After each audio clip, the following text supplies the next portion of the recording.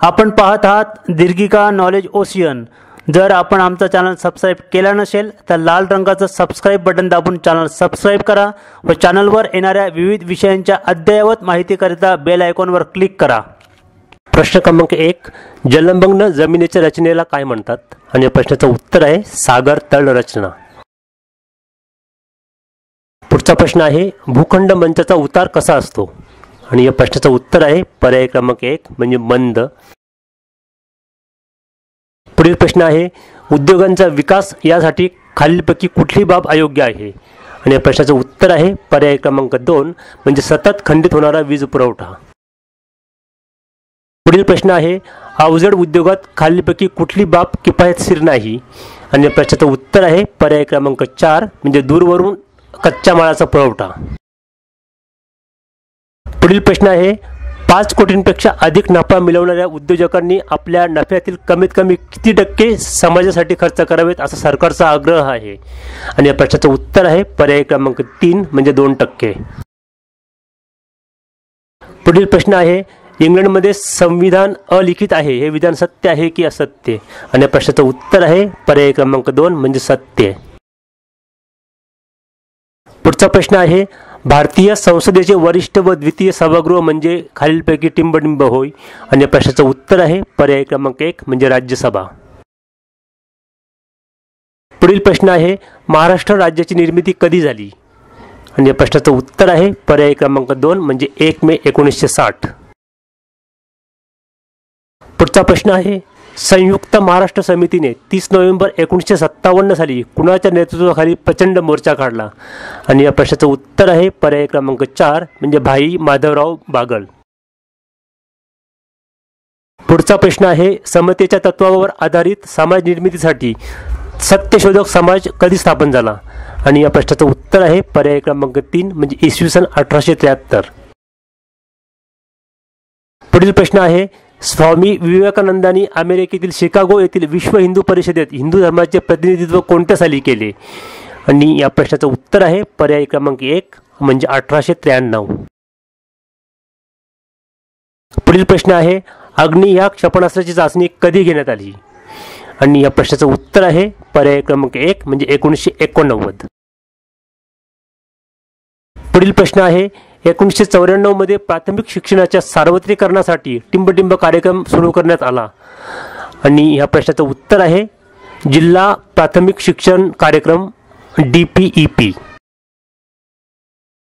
पुढील प्रश्न आहे टिंबटिंबच्या जनगणनेत केरळ राज्य शंभर टक्के साक्षर झाले. आणि या प्रश्नाचं उत्तर आहे पर्याय क्रमांक बी म्हणजे एकोणीसशे एक्क्याण्णव. पुढील प्रश्न आहे भारतात ब्रिटिश शासित प्रांत आणि संस्थाने यांची मिळून एक संघराज्य स्थापन करण्याची तरतूद टिंबटिंब कायद्यात करण्यात आली. आणि या प्रश्नाचं उत्तर आहे पर्याय क्रमांक दोन म्हणजे एकोणीसशे पस्तीसच्या. पुढील प्रश्न आहे एकोणीसशे बेचाळीसमध्ये मांडलेली क्रिप्स योजना राष्ट्रीय सभेने नामंजूर करण्याचं कारण. प्रश्नाचं उत्तर आहे पूर्ण स्वातंत्र्याच्या मागणीचा पूर्ण उल्लेख नव्हता. पुढचा प्रश्न आहे आठ ऑगस्ट रोजी छोडो भारत हा ठराव कोणी मांडला? आणि या प्रश्नाचं उत्तर आहे पर्याय क्रमांक दोन म्हणजे पंडित नेहरू. पुढील प्रश्न आहे अखिल भारतीय प्रजा परिषद कधी स्थापन झाली? आणि प्रश्नाचं उत्तर आहे पर्याय क्रमांक एक म्हणजे एकोणीसशे सत्तावीस. पुढील प्रश्न आहे जुनागड हे सौराष्ट्रातील संस्थान टिंबटिंब साली भारतात विलीन झाले. आणि या प्रश्नाचं उत्तर आहे पर्याय क्रमांक तीन म्हणजे एकोणीसशे अठ्ठेचाळीस.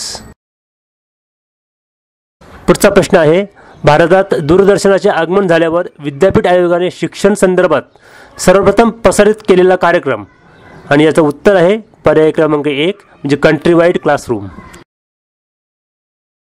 पुढील प्रश्न आहे कोणत्याही परिस्थितीत राष्ट्राच्या सार्वभौमत्वाचे आणि अस्तित्वाचे रक्षण करणे राष्ट्राचे पहिले कर्तव्य व जबाबदारी आहे हे विधान सत्य आहे की असत्य? आणि प्रश्नाचं उत्तर आहे पर्याय क्रमांक एक म्हणजे सत्य. पुढील प्रश्न आहे पृथ्वीवरील टिंबटिंब प्रदेशात बहुतांश भागात वर्षभर पाऊस पडतो. आणि प्रश्नाच्या उत्तराचे पर्याय आहेत. पर्याय क्रमांक एक कर्कवृत्तीय पर्याय क्रमांक दोन विषुवृत्तीय आणि पर्याय क्रमांक तीन मकरवृत्तीय.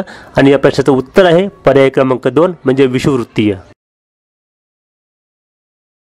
पुढील प्रश्न आहे ब्राझीलमध्ये लिंग गुणोत्तराचा विचार करता स्त्रियांची संख्या जास्त आहे. विधान सत्य आहे की असत्य? आणि या प्रश्नाचं उत्तर आहे पर्याय क्रमांक एक म्हणजे सत्य. पुढील प्रश्न आहे सुंदरबन या प्रदेशाचा बहुतांश भाग भारतातील टिंबटिंब राज्यात आहे. आणि या प्रश्नाचं उत्तर आहे पश्चिम बंगाल.